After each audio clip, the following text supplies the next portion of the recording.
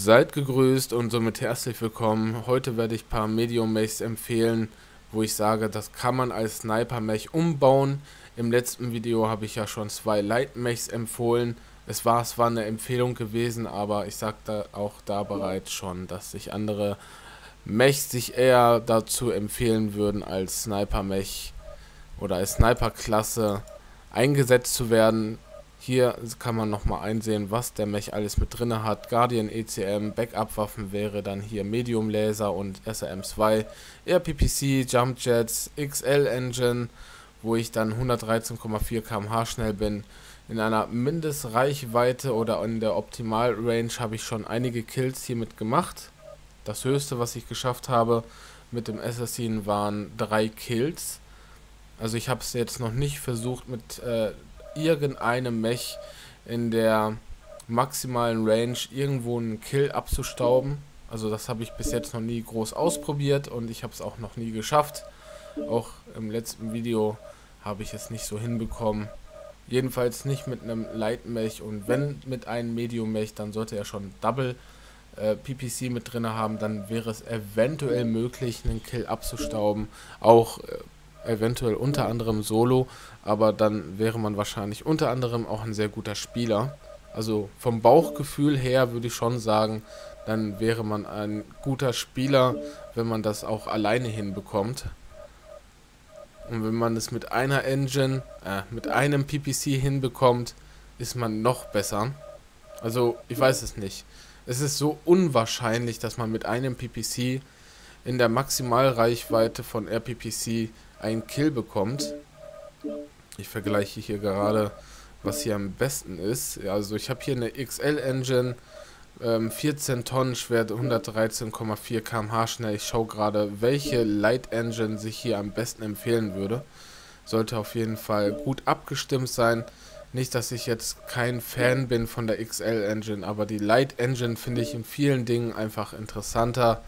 Auch wenn die Geschwindigkeit dann hier ein bisschen runter geht, muss ich doch dennoch sagen, dass die XL Engine besser eingebaut ist bei einem Mech, der jetzt mehr im Fernkampf ist, sprich ein Artillerie-Mech oder halt, also mit LRM, oder ein Light-Mech, der extrem schnell ist, aber ansonsten bin ich da nicht so der große Fan von, was eine XL-Engine betrifft. Gut, ich habe jetzt hier ähm, 113,4 km/h. Schnell bin ich jetzt hier mit dieser Engine.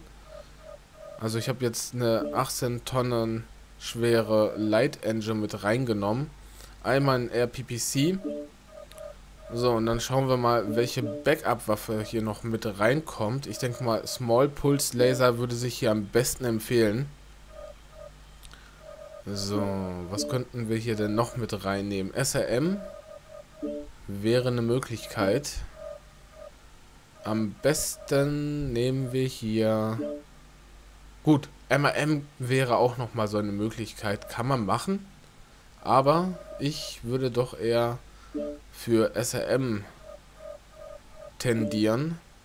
Weil SRM und von der Tonnage her muss das Ganze ja auch passen. SRM verbraucht nicht so viel äh, Tonnage. Dann dazu noch ein Guardian ACM und jetzt habe ich das Problem, äh, dass ich keine Munition habe für SRM. Aber, da, da, weil ich hier mein Guardian ACM mit drin habe, würde ich dann doch schon auf ein SRM verzichten und dann baue ich noch eine Tonne SRM mit rein und dann passt das schon.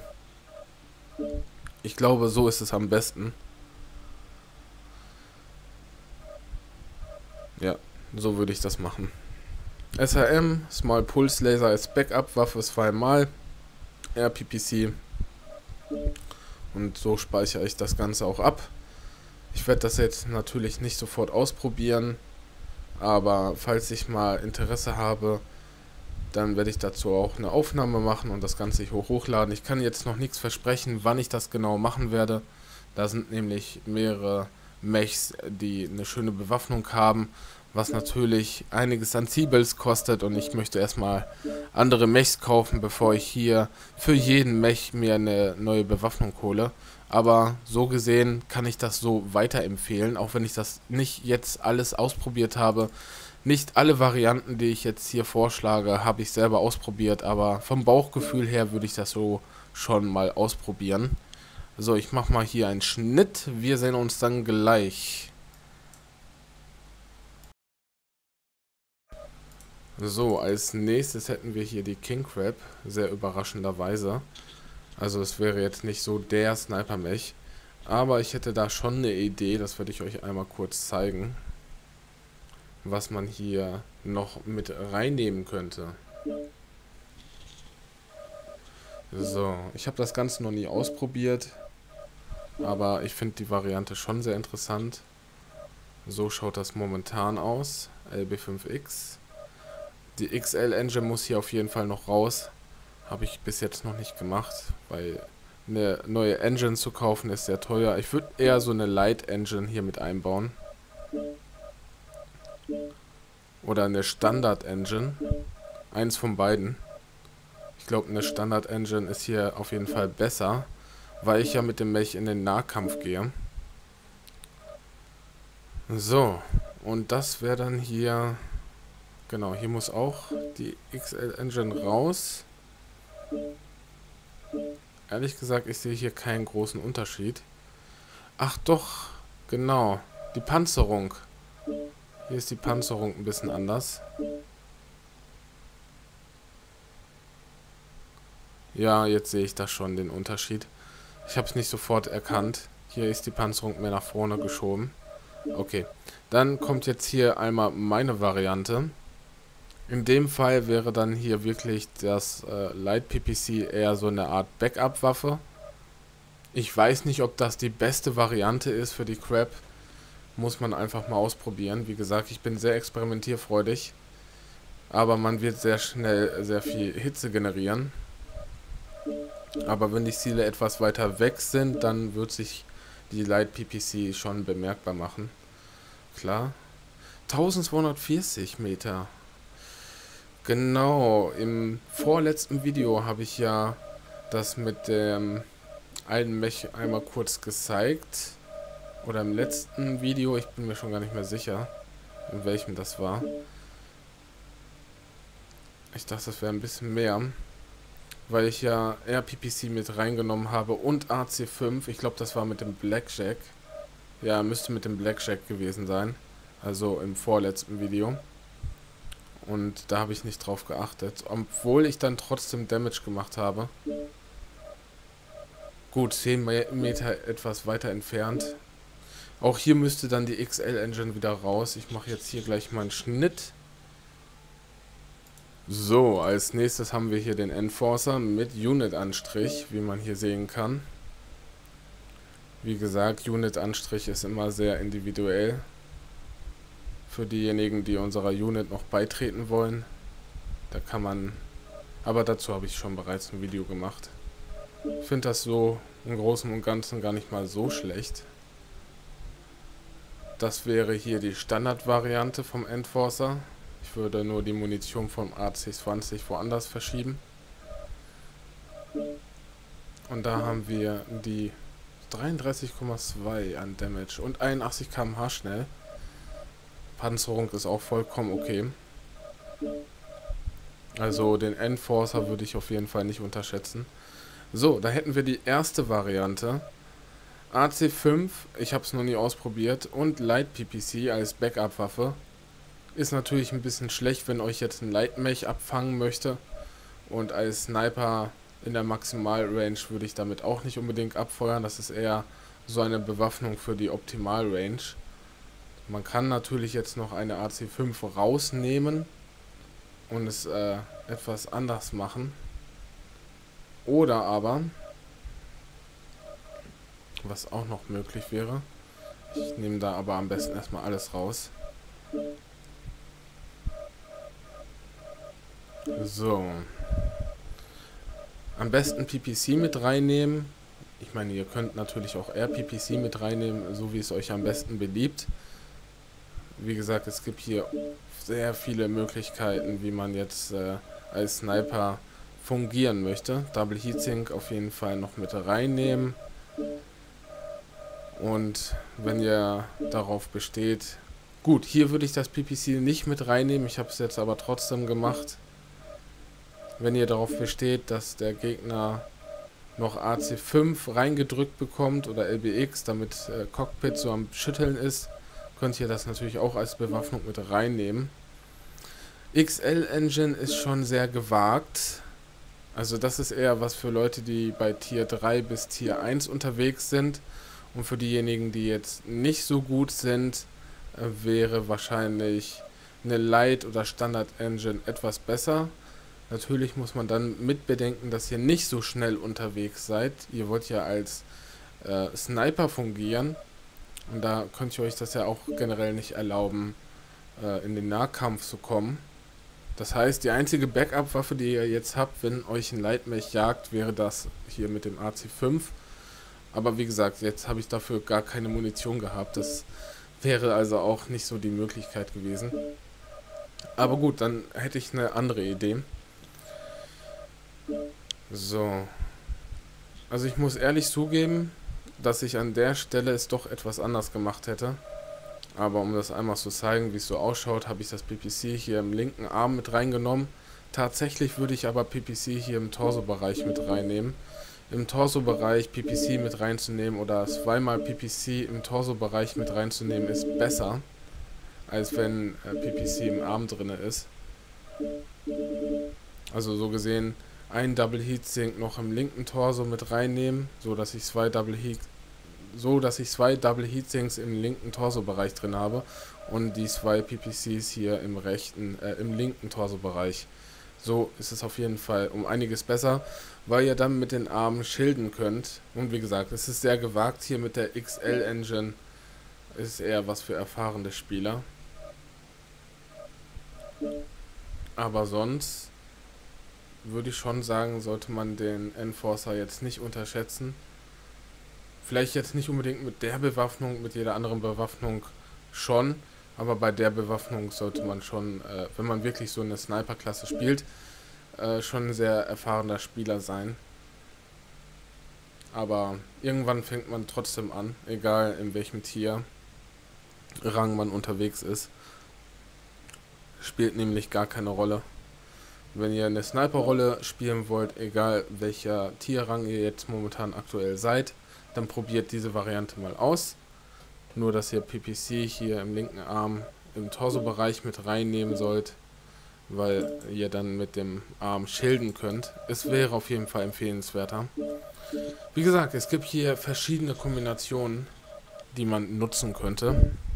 Zum Beispiel AC5 und dann noch als ja, PPC am besten. Generiert nicht so viel Hitze wie RPPC. Ich finde beides im Übrigen toll. Ich sag's mal so, wenn ihr ähm, Backup-Waffen habt, so wie ich das jetzt hier mit reinnehme, dann ist es auf jeden Fall schon klar, dass man äh, PPC mit reinnehmen kann. RPPC ist eher so, hm, ich brauche keine Backup-Waffen. Aber ich würde auch mit RPPC äh, Backup-Waffen mit sich führen. Aber bei PPC, wenn ihr nur PPC äh, mit reinnehmt, dann sind Backup-Waffen noch umso wichtiger. Vorteil und Nachteil. Also PPC ohne Backup-Waffen geht gar nicht. So, jetzt habe ich hier eine Standard-Engine mit reingenommen. 79,3 km/h schnell. Das wäre eine Möglichkeit. So könnte man das auch spielen. Allerdings brauche ich noch eine Tonne für AC5. Moment. Moment, Moment, Moment.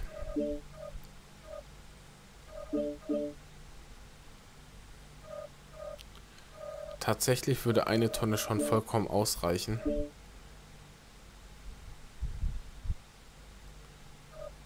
Aber mal schauen, was ich jetzt hier machen werde. Ich nehme jetzt hier die Panzerung wieder raus. Also wie gesagt, es gibt hier verschiedene Möglichkeiten. Ihr könnt zwei Tonnen AC5 mit reinnehmen oder nur eine Tonne. Auch eine Tonne reicht schon vollkommen aus als Backup-Waffe und wenn man es teilweise auch als Snipe-Geschoss äh, äh, benutzen möchte. Also wenn man mit AC5 auch snipern möchte, geht es auch. Aber ich würde es eher als Backup-Waffe benutzen. Es ist so eine AC5 LBX, ist so eine Mischung von beiden. Ihr könnt es als Backup-Waffe benutzen, wenn euch ein Lightmech jagen möchte oder ihr benutzt es auch, wenn ihr PPC benutzt in Kombination. Tatsächlich wäre ich hier, also das wäre jetzt eine Möglichkeit. Tatsächlich würde ich aber hier noch eine Tonne AC5 rausnehmen und noch meinen Small Pulse Laser mit reinnehmen. Aber ist schon so okay. Ja, 35 Schuss ist jetzt nicht super viel, aber ihr könnt mit den Skill Trees ja auch nochmal Munition extra mit euch führen. Und ähm, ich würde es eher als Backup-Waffe mit reinnehmen.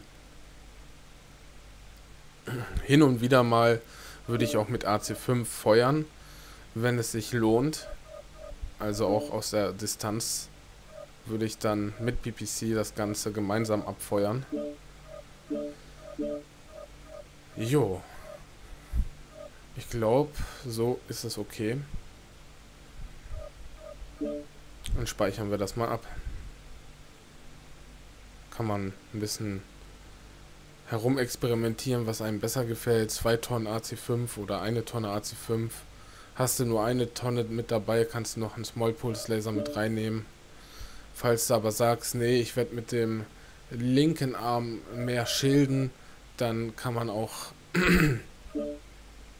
vielleicht komplett darauf verzichten, was die Bewaffnung betrifft. Dann nimmt man mehr Munition mit rein. Es kommt auf eure Spielweise halt an.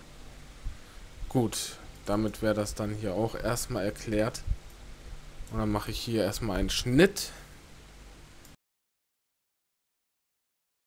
So, überraschenderweise habe ich jetzt hier die Shadow of Hawk mit reingenommen, so wie mit der Crab. Beides Mechs, die ich jetzt nicht als erstes empfehlen würde, wenn man sich einen Sniper-Mech bauen möchte. Aber als Fun-Bild, spaßeshalber, einfach mit reingenommen für diese Aufnahme. Ihr solltet am besten im Store reinschauen. Da gibt es einige Medium-Mechs, die wahrscheinlich sich besser für eignen, die Sniper-Rolle zu übernehmen die vielleicht sogar besondere Quirks drauf haben auf PPC. Ich weiß nicht bei welchem Mechs, ich habe da jetzt weder bei den Inner Sphere, geschweige noch bei den Clan Mechs nachgeschaut, welche davon jetzt besondere Quirks drauf haben. Und so gesehen würde ich das schon so sagen, dass es eher so eine Art Fun-Bild ist. Also der Mech wäre wahrscheinlich mit jeder anderen Bewaffnung besser dran als mit dem, was ich jetzt hier euch zeige. Zumal äh, PPC äh, im Arm drin ist und den Arm benutze ich ja eher zum Schilden. So gesehen, ich kann hier nur mit dem linken Arm schilden. Das Beste ist immer, wenn die Waffen im Torso-Bereich sind und dass ich mit dem Arm immer schilden kann.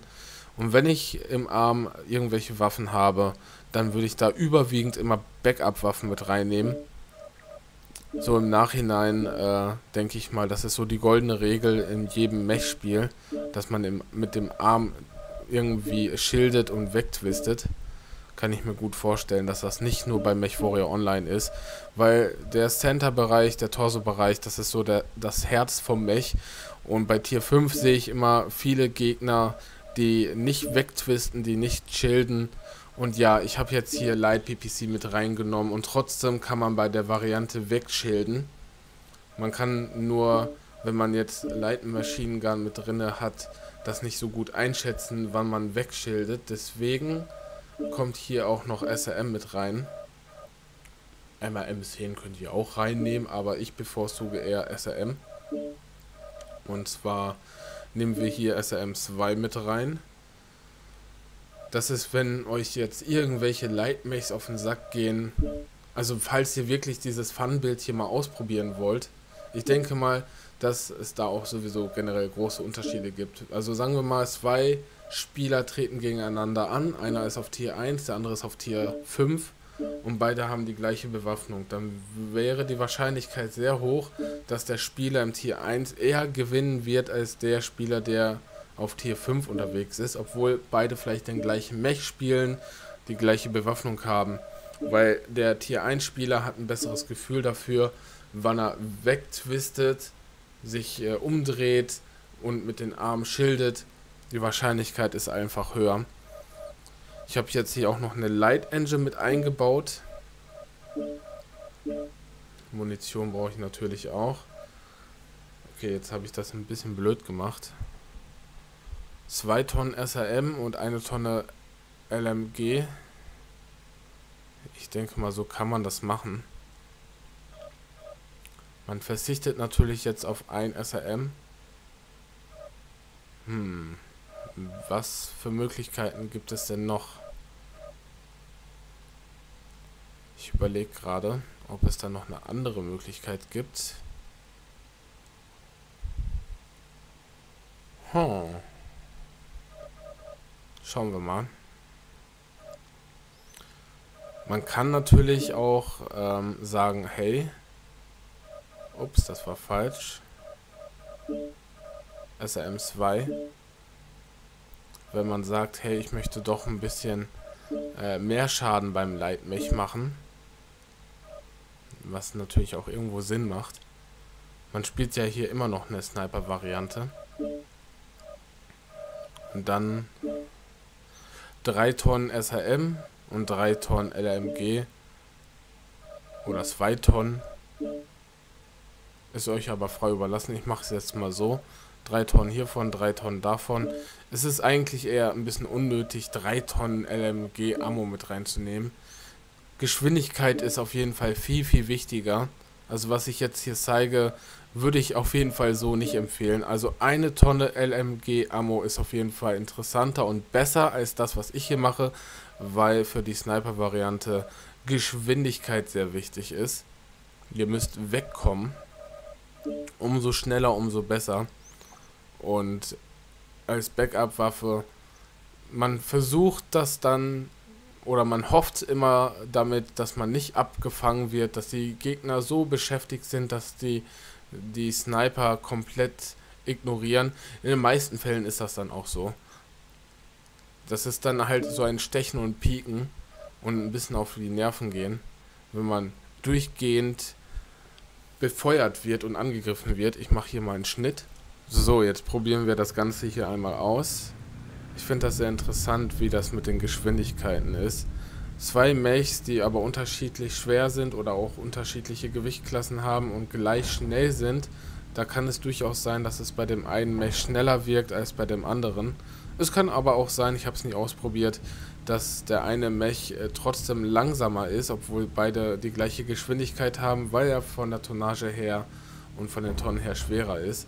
Kann auch sein. Ich habe es nicht ausprobiert, aber äh, es wird unterschiedlich dargestellt. Also ich habe das schon oft gesehen, dass zwei Mechs die gleiche Geschwindigkeit haben. Bei dem einen Mech wirkt es halt langsamer und bei dem anderen dann doch sehr schnell. Hier habe ich so vom Bauchgefühl her eher so diesen Eindruck, dass es sehr schnell ist, dass er sehr schnell unterwegs ist. Wie gesagt, ich würde hier sogar auf 2 Tonnen äh, Light Machine Gun äh, verzichten und dann mehr auf Tonnage gehen, äh, mehr auf die Engine eingehen, also eine schnellere Engine mit einbauen. SRM2 habe ich hier auch mit eingebaut als Backup-Waffe, falls euch irgendwelche Lightmates auf den Sack gehen und ihr wollt diese Variante, so wie ich das jetzt hier demonstriere, so benutzen, dann äh, zeige ich euch einmal, wie man da am besten vorgeht. Wie gesagt, ihr seid immer noch ein Sniper, der wahrscheinlich in der Maximal-Range versucht zu snipern, aber es ist auch so eine Art heranlocken, weil die meisten Lightmates, die auf euch zurennen, wissen ja gar nicht, welche Bewaffnung ihr mit drin habt. Wenn ihr dann noch Streak SRM habt und noch einen Tech Laser, sehr gefährlich. Dann rennen die nämlich wieder weg. PPC, Streak SRM, sehr böse, sehr, sehr böse. Und wie, wie ihr merkt, äh, es macht auch so schon Sinn, äh, Light Machine Gun mit reinzunehmen. Auch wenn, naja, es ging halt nichts anderes. Und trotzdem twiste ich hier immer weg. Also das wäre so die Herangehweise. Ich demonstriere das hier auch nochmal äh, nur halt mit Light Machine Gun. Ich gehe hier nicht äh, auf Dauerfeuer. Sobald ich den SRM abgefeuert habe, twiste ich weg und bin am Schilden. So wird der ganze Kampf dann verlaufen, durchgehend. Und dann kommt es auf den Leitmech-Pilot an. Entweder hat er Bock, euch äh, zu zerlegen, oder ihr habt ihn so erschrocken, weil ihr sehr gut treffen könnt, dass er wieder verschwindet. Und dann könnt ihr wieder mit PPC äh, ganz normal Snipern halt. Ne? Pieken und stechen, provozieren, sehr provokant. Sniper sind immer provokant. Man rennt da immer hin als Leitmech. Ich sehe das sehr oft. Oh, der hat PPC, ich renn da hin, ich muss ihn angreifen. Ja, und wenn es dann ein Leitmech ist, dann habt ihr noch Streak SRM mit drin und einen Tech Laser. Autsch. Und falls ein Leitmech euch den Rücken zeigt, könnt ihr natürlich auch Dauerfeuer machen, ne? Dann äh, macht es schon wieder Sinn, Light Machine Gun mit reinzunehmen. Jedes Mal, wenn der Gegner den Rücken euch zuzeigt oder er schildet gerade, dann kann man ja den Dauerbeschuss mit reinnehmen. Es gibt so viele Sachen, auf die man achten kann, die mir auch erst im Nachhinein bewusst werden. Weil wer wegschildet, sieht ja nicht, was ihr gerade macht. Er kann das gerade nicht einsehen. Ihr könnt stehen bleiben und euer Alpha Strike raushauen, weil wenn er schildet, ist der Arm ja auch irgendwann weg. Und äh, das sind so Sachen, die mir erst so im Nachhinein klar geworden sind. Und wenn der Arm weg ist, kann er nicht mehr schilden. So, wenn der Gegner platt gemacht wurde, mal angenommen, ihr habt jetzt Tech Laser und Streak SRM mit drin, dann seid ihr schon wieder im Fernkampf. Ja, da hinten steht auch noch ein Gegner, ihr habt PPC, Patsch. Könnt ihr wieder in Ruhe snipern, bis der nächste Leitmilch euch auf den Sack geht. Und dann greift ihr wieder in diesem Moment zu eurem Streak SRM und zu eurem Tech Laser. Äh, gut, das habe ich jetzt hier nicht mit drin. Ich weiß nicht, ob das geht, aber es ist schon ein bisschen mies. Das ist so wirklich Put, put, put, put, put, komm, komm, komm, komm ruhig näher. Ja, du lockst ihn mit PPC an. Oh, er denkt sich, ho, ho, ho, Sniper. Ja, den äh, werde ich jetzt erstmal wegklatschen und dann kommt hier noch mit Streak SHM an. Das ist richtig mies. Kommt mir gerade mal so in den Sinn, äh, sowas mal auch in der Richtung zu bauen. Das wäre mega mies, denke ich. Weil ihr dann zwei verschiedene Rollen einnimmt. so, ich mache hier meinen Schnitt.